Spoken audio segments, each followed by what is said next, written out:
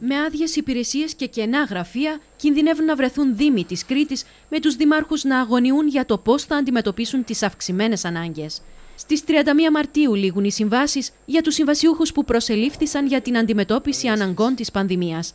Ενδεικτικό είναι το τεράστιο θέμα που θα προκύψει στο Δήμο Αγίου Νικολάου. Φεύγουν όσους μας δώσαν να πάρουμε λόγω COVID, θα κλείσει το λογιστήριό μου. Από τους έξι υπαλλήλους με την ε, κινητικότητα φύγανε τέσσερις. Ένας, ένας Δήμος ο οποίος έχει 40 εκατομμύρια έργα ε, δημοπρατημένα, πώς θα προχωρήσουν οι λογαριασμοί; Ρωτάει κανείς πώς θα λειτουργήσουν οι Δήμοι. Ο Δήμος Αγίου Νικολάου χωρίς ένα τεχνίτη, χωρίς έναν εργάτη.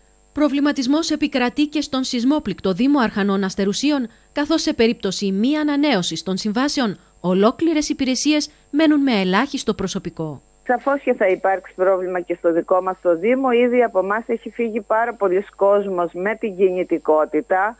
Οπότε προσπαθήσαμε όσο μπορούμε να αναπληρώσουμε αυτές τις θέσεις. Οπότε λήξη της συμβάσεως, αυτές τις θέσεις θα, θα μείνουν κενές.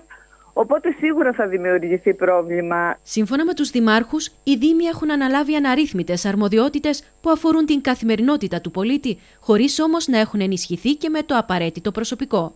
Το πρόσφατο παράδειγμα με τον ένα και μοναδικό κοινωνικό λειτουργό, στο οποίο είχε αναφερθεί ο κ. Ζερβός, φαίνεται ότι δεν είναι το μόνο, αφού ολόκληρα προγράμματα λειτουργούν με χίλιες δύο δυσκολίες.